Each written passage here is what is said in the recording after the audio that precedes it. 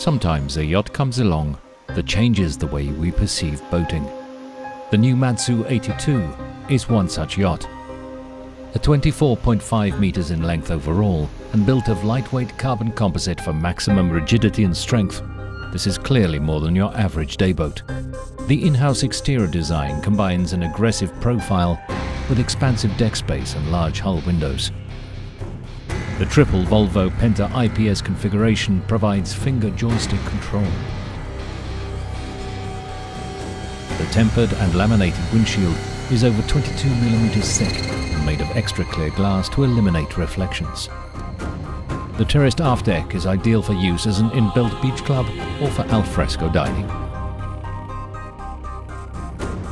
The teak decking is flush throughout the main deck for a seamless interface between inside and outside with no steps. The helm station and large windows are designed to provide maximum visibility. And then there's her performance.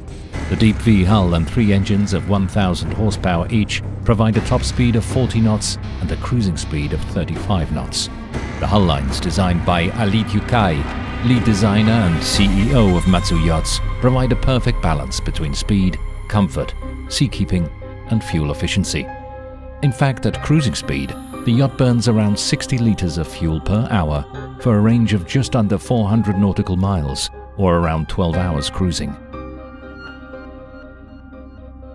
The transformer-style ladder built into the aft platform provides easy access to the water, and an awning supported by carbon fiber poles can be rigged over the aft deck, which is equipped with freshwater shower.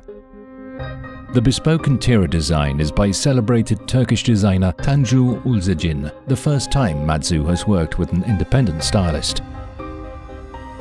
There is also a comfy dinette and well-equipped galley. Thanks to the glass superstructure and sliding aluminium hardtop, the main deck salon is light and airy. The three-cabin layout features a full-beam master suite forward on the lower deck, with a spacious private bathroom and walk-in wardrobe.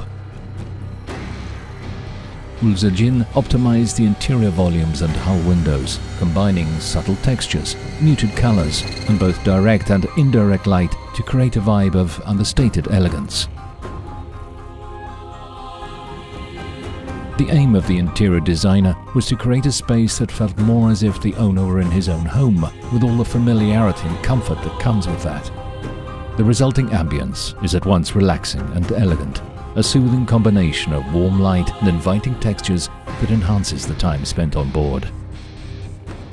Multifunctional design was also very important for the owner. In fact, the open foredeck has various uses, as a sunbathing or dining area. And to end an idyllic day on the water, after dark a projector screen can be set up in the bow to turn it into an open-air cinema.